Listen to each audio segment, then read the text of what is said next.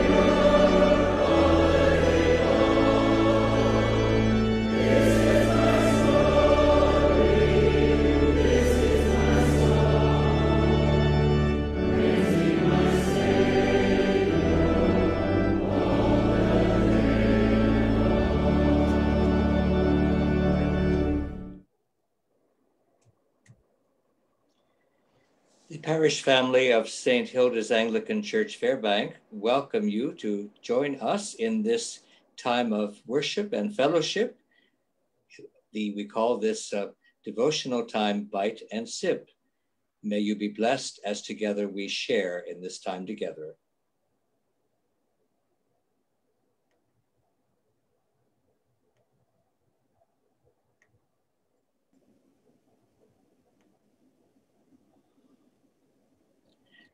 The grace of our Lord Jesus Christ, the love of God, and the fellowship of the Holy Spirit be with you all. And also with you. This is a good place for it. This is a good day. Here and now we come to reset our sights on the love of God. God is ready and willing to change our minds, unscramble our motives, and to focus again our purest longings. This is a good place for it. This is a good time. Here and now, we are in the presence of amazing grace. God is ready and willing to bring hope to the disconsolate, refreshment to the worn and weary, and a new delight to those who walk in the way of the Lord. This is a good place for it. This is a good day, here and now. We lift our hearts in devotion we lift our lips in prayer and praise. We lift our minds in expectancy. We lift our lives in service. God, most merciful, God, most holy, receive all we offer you today, and may the words of our mouth and the meditation of our hearts be acceptable in your sight. God of, of Christ Jesus and our God, Lift us above the, main, the mundane to the special, beyond empty platitudes to sincere praise. And awaken us that adoration, which is the joy of loving hearts. You are the God of grace and glory. We are yours, and by miracle you are ours. Blessed be your name in all the earth. Amen. Amen. Let us pray. You, loving God, are the ground of our being and the river of life. You steady our roots and draw them to seek the living waters. You are like the sunlight enticing us taller and like the breeze rustling our leaves. You are with us through hard seasons of summer heat. In the winter season, your love warms and sustains us. You are everything to us. Oh, let our gratitude be great. Let our praise be plentiful let our worship be wonderful through Christ Jesus, your ever living Son. Amen.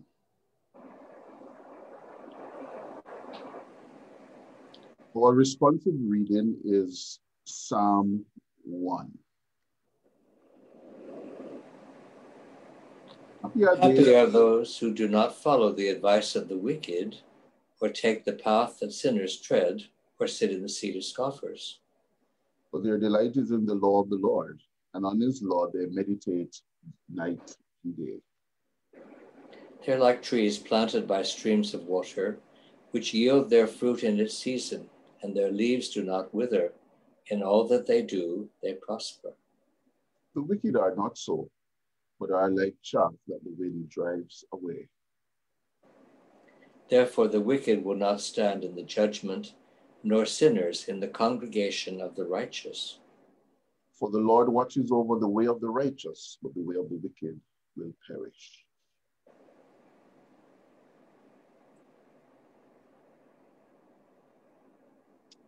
And our scripture reading is Matthew chapter 13, verses 53 to 58. When Jesus had finished these parables, he left that place. He came to his hometown and began to teach the people in their synagogue, so that they were astounded and said, Where did this man get this wisdom and these deeds of power? Is not this the carpenter's son? Is not his mother called Mary? And are not his brothers James and Joseph and Simon and Judas? And are not all his sisters with us? Where then did this man get all this? And they took offense at him. But Jesus said to them, Prophets are not without honor except in their own country and in their own house. And he did not do many deeds of power there because of their unbelief. The word of the Lord. Thanks be to God.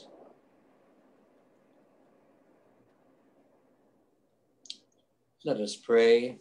Blessed Savior, at this hour you hung upon the cross, stretching out your loving arms.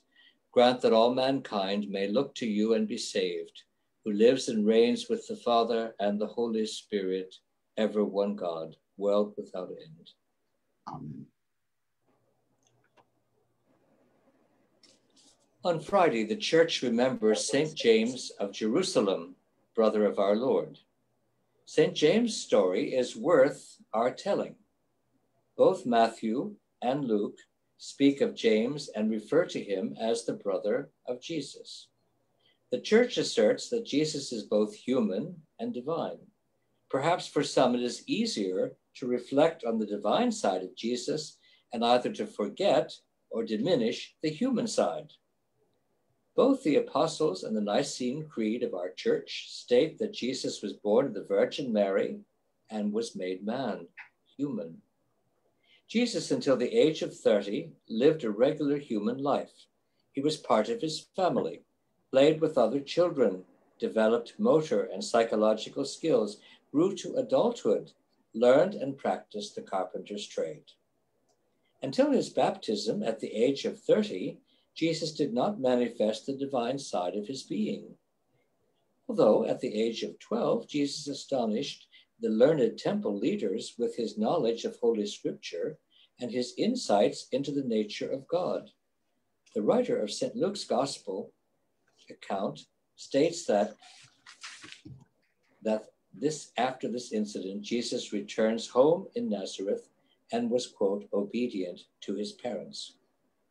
For those who are members of a large family, it is apparent that each member of the family is unique, having special gifts, certain personalities, certain ways of relating to each other. We can speculate on how members of Jesus' family regarded him.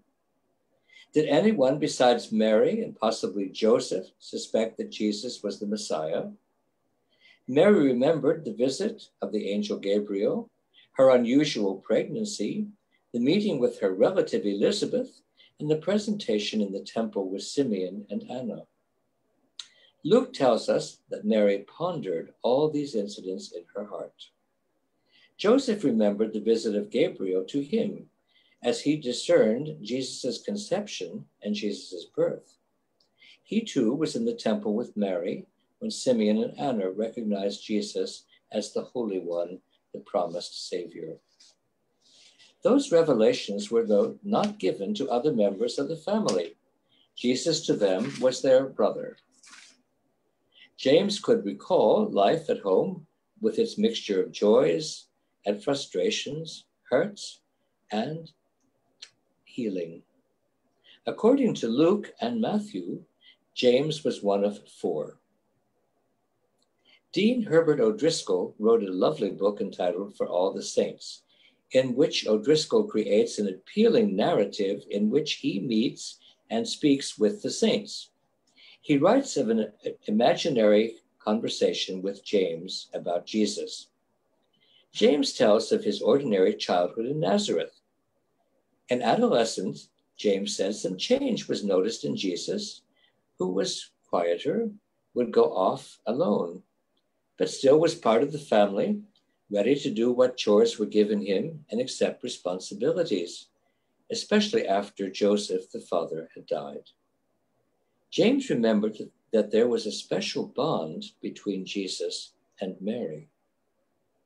The change in relationships changed when Jesus embarked on the public chapter of his life, his preaching and his healing.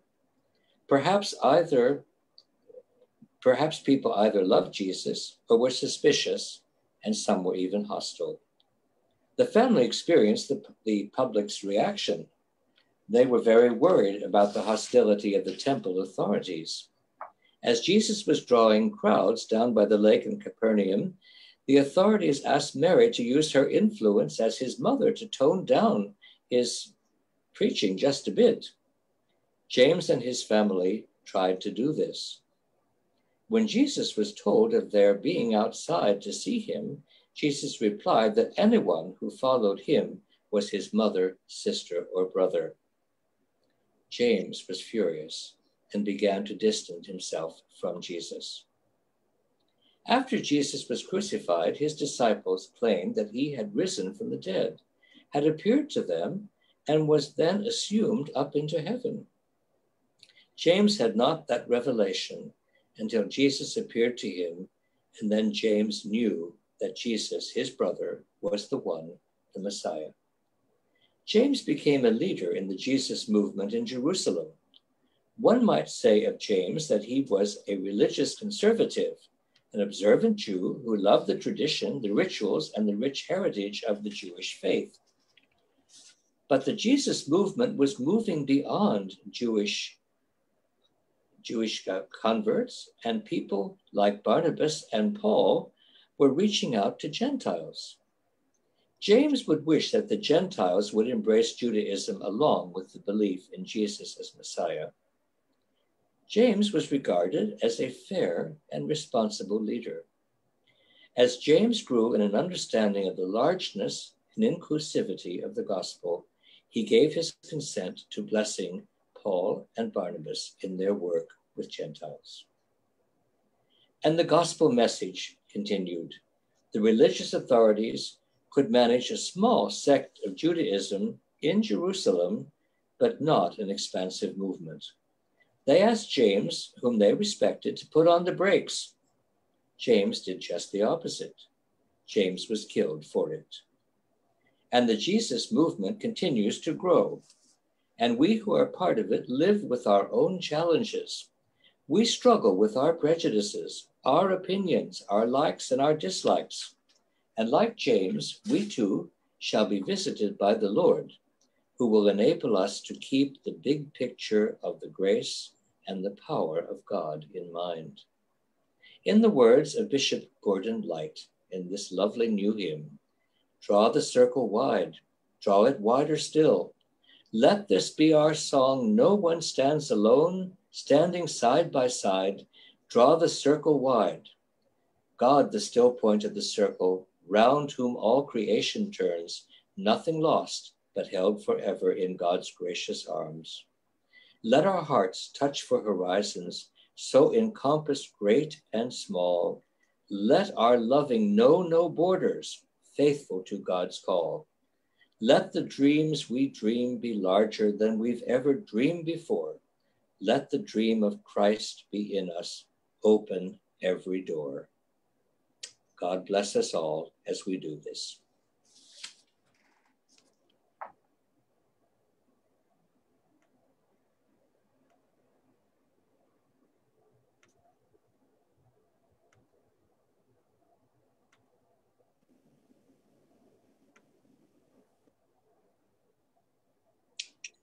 Let us pray. This is the prayer which is written for the feast of St. James of Jerusalem. Let your people, O God, continually cherish the memory of James, who was a pillar in your church, supporting its witness to the resurrection, and grant that, following his example in the work of reconciliation, we may bring all who are at variance and enmity to peace and perfect unity in your Son, who lives and reigns with you and the Holy Spirit, one God, now and forever. Amen. Amen.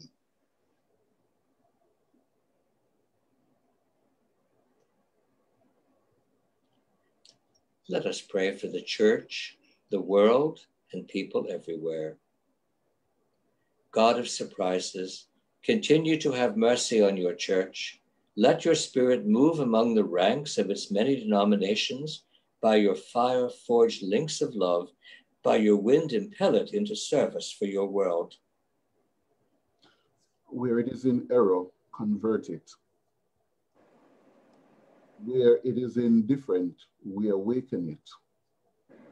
Where it is corrupt, cauterize it. Where it is persecuted, fortify it. And where it is insightful, faithful, and loving, bless it with your holy joy.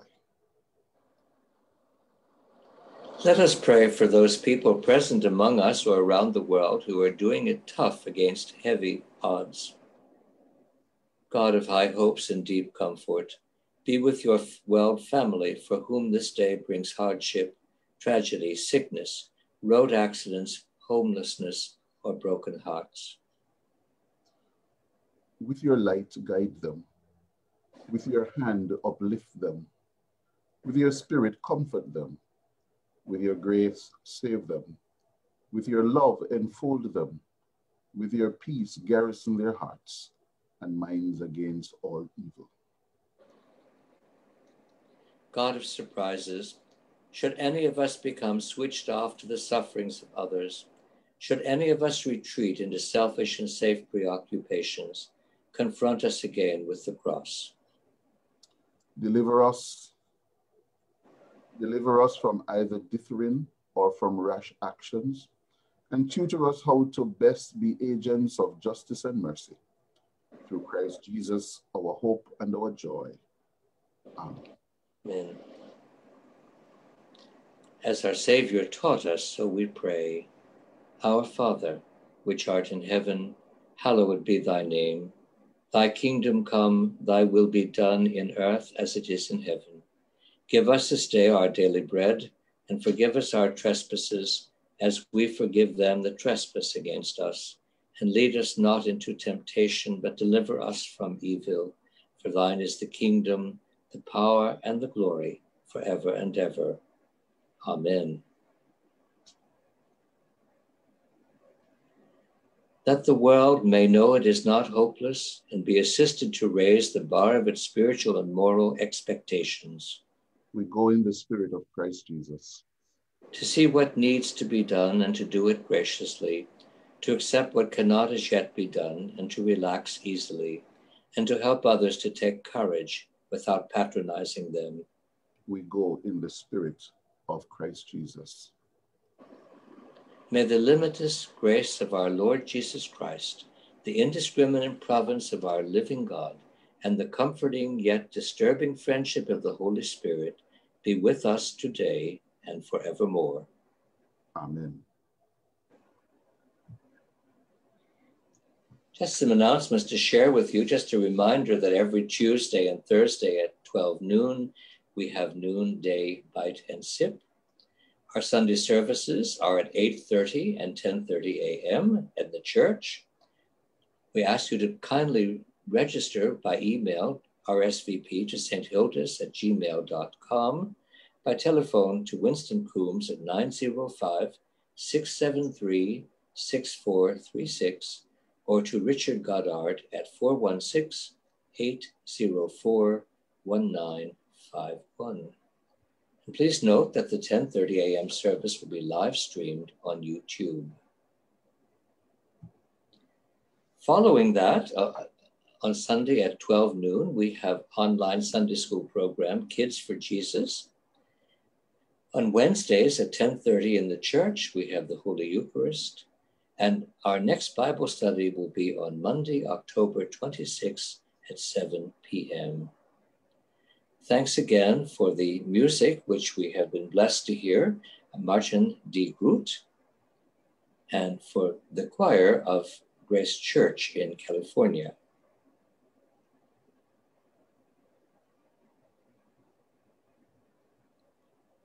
Let us bless the Lord. Thanks be to God. Be blessed, be a blessing.